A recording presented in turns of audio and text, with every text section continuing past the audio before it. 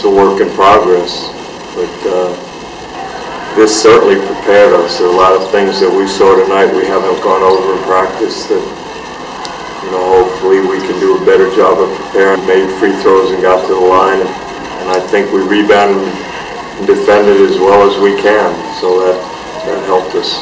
We went on the road against the Big 12 team that's well coached. It's a huge step for us, and this is going to be a great rivalry. We played good. They're really a well-coached team. We haven't seen a 1-3-1 zone. You know, we haven't seen any traps.